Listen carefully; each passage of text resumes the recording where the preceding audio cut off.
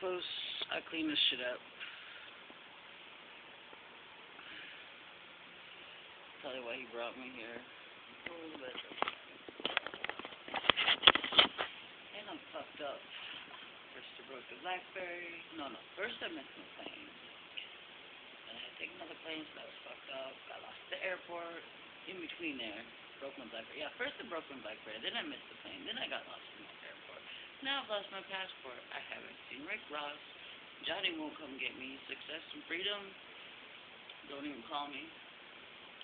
The only person I got to see was Bear, Nikki, my old friend Brandy. And Brandy and Nikki, you know, I saw them up north, so I don't know.